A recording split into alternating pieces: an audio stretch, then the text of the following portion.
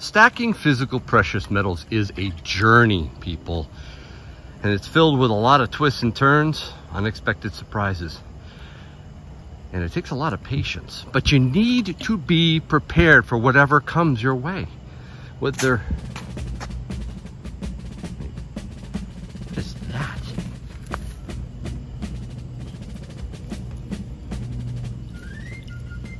No way.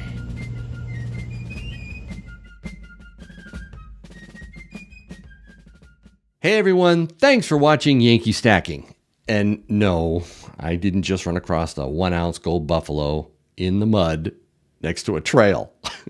Wouldn't that have been amazing if I had?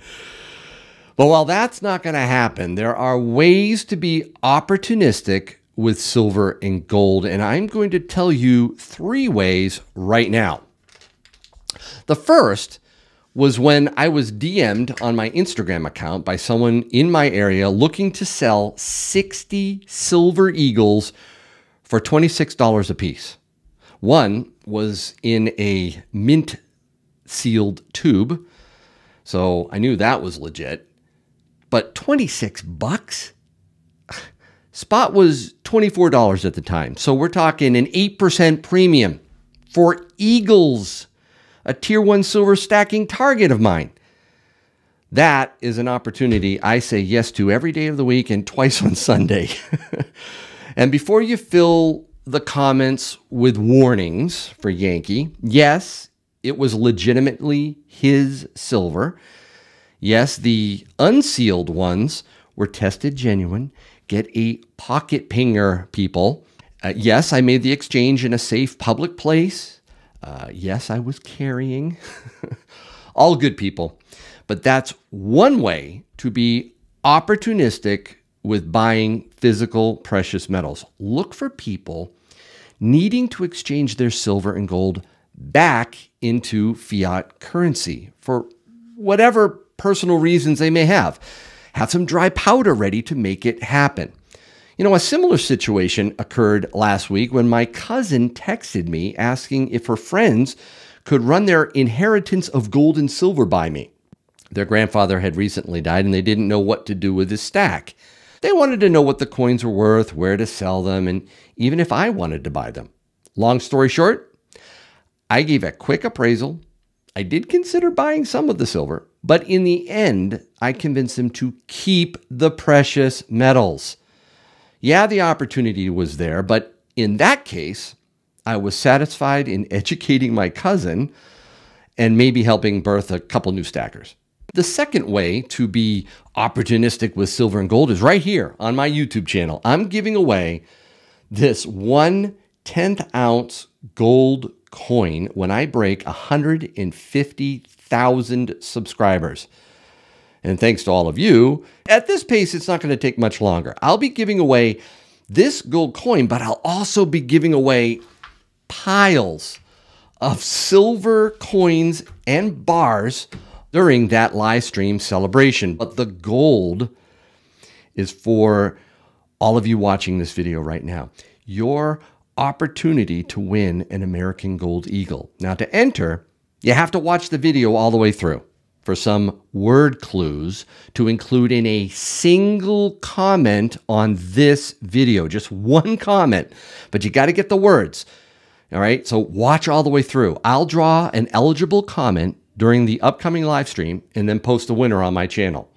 See the video description for all the giveaway rules. But another way that you can be opportunistic with gold and potentially make a huge profit is with what I think Maybe the best gold junior mining company I have ever shared with you on my channel. Now, don't leave. Okay, this is legit. It's as legit as, as this uh, gold coin.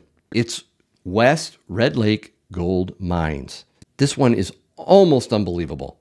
And I'm going to rip through three reasons why I'm personally speculating on this one in a bigger way than usual. Uh, actually, twice my normal amount. And I bet when I'm through, you're going to agree with me. So here's the first reason value. If you're a value investor, you probably know where I'm going here. West Red Lake Gold had absolutely horrible prior management. They overextended themselves during COVID. The, the management just screwed up execution. I read all about it. And they had to sell. Billionaire Frank Giustra swooped in and bought it. Frank Giustra, wealthy man. He owns Lionsgate Entertainment. But this is the guy who also built Goldcorp into the largest gold company in the world. And he's using exactly the same business model here with West Red Lake, namely locate a tremendous property that's, you know, at or near the finish line, buy it for pennies on the dollar because they screwed the thing up, put in a great management team, stabilize it, make it cash flow, and make a lot of money. Kind of reminds me of the uh, distressed real estate I've invested in over the past 15 years. Value. See, the market cap of West Red Lake Gold is only around $70 million US.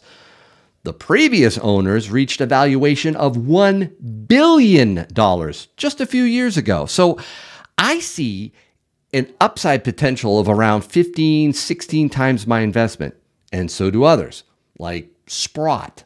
Second reason new all star management. I'm going to quickly highlight just three amazing people here. Uh, their CEO, Shane Williams, he was the chief operating officer for Skeena.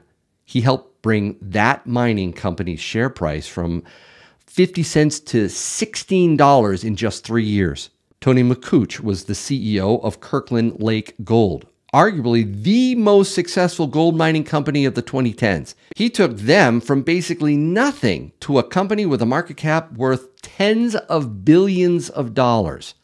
Duncan Middlemiss was the CEO of West Dome, Duncan took that company from 50 cents to $20 a share during his leadership. These guys know exactly how to evaluate a gold resource. They know how to run a mine, making millions. A lot of people don't know how to run a mine. These guys do. Third reason the state of the property. This is crazy, guys. I've highlighted, I've invested in juniors you know, where they're just getting started. They're, they're uh, exploration companies over on the left side of the Lassonde curve. Their core samples look good, but they're not looking to go into production. They just want to prove the value and then get acquired. Not this one. The prior management sunk tons of money into their Madsen project. $350 million has already been spent. And just look at this place. It's brand new. They have a mill on site. A mill is a real strategic asset, people. So I really have never reviewed a mining company like this. That's why I am personally buying shares of West Red Lake Gold Mines. Again, twice my usual amount. It's still a speculative play. There are no guarantees that this is going to make me a huge profit, but I see the odds in my favor. And as usual, I'm willing to wait years to sell it. But with this infrastructure, I, I really wouldn't be surprised if it skyrockets in 8 to 12 months. But hey, that's me. Don't you buy a single share without doing your own research and assuming all the risk. Their ticker symbol is WRLGF in the US. It's WRLG in Canada.